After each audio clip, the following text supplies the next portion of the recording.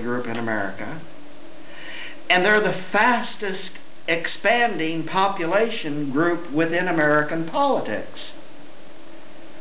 White America has almost reached ZPG. You familiar with that? What is ZPG? Zero percentage growth. Okay, zero percentage growth, but zero population growth. Same thing. So, in other words, uh, the American population is expanding, but the largest element of expansion in our population are Latino Americans.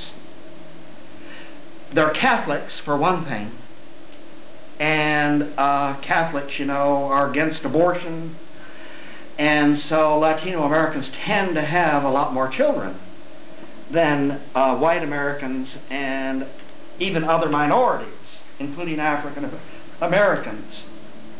Another expanding population of minorities in America, interestingly enough, are the Native Americans.